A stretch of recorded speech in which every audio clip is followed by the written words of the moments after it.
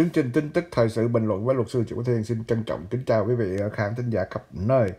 Thì hôm nay chúng tôi nói về tin tức đang chấn động ở thị trường à, chứng khoán New York và chấn động các công ty, đại công ty công nghệ cao của nước Mỹ thưa quý vị.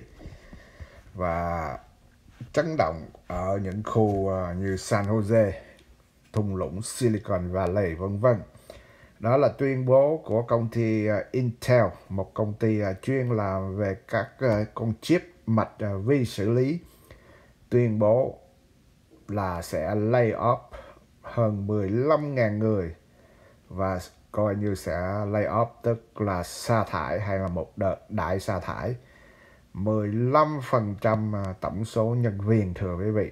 Có thể nói đây là một cuộc uh, tiếng Anh gọi là huge layoff tức là đại sa thải à, mục đích của Intel trả lời cho hãng thông tấn à, Hot Hardware là công ty Intel hay đại công ty Intel à, muốn à, nhằm à, cắt giảm chi phí và nhằm muốn đối phó với tình hình à, khó khăn trong những ngày tháng tới đây thưa quý vị.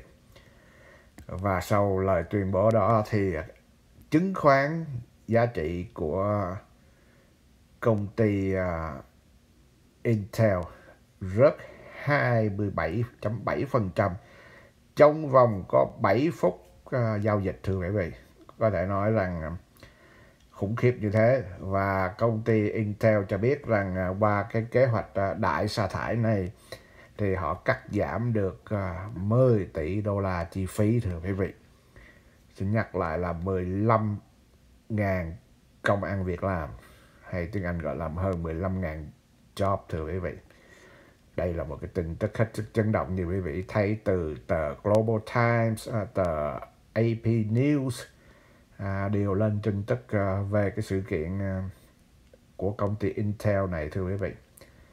Và ai cũng biết mà cắt giảm lên tới 15.000 người thì sẽ có khoảng 15.000 gia đình à, của những người nhân viên bị ảnh hưởng thì tương đương với à, 150.000 người bị ảnh hưởng. Cứ tính mỗi một nhân viên sẽ ảnh hưởng tới 10 người khác cha mẹ anh em vợ chồng con cái vân vân thưa quý vị. À, lý do công ty Intel đưa ra nói rằng là họ đã có một cái báo cáo là bán hàng quá chậm trong uh, 3 tháng vừa qua thưa quý vị. Và đó là cái lý do mà họ nói rằng là họ bị à, coi như là trúng thương trong thương trường.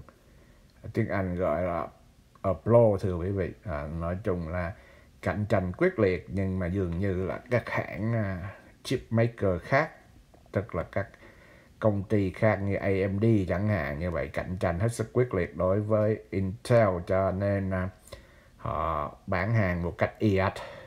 Và từ cái việc y ạch thì họ buộc phải giảm số nhân công thưa quý vị. Thì uh, công ty Intel là một công ty uh, có nhiều chi nhánh trên thế giới cho nên chắc chắn là cái việc cắt giảm cũng sẽ diễn ra trên toàn thế giới trên toàn những cơ sở làm việc cho công ty Intel cũng bị ảnh hưởng theo.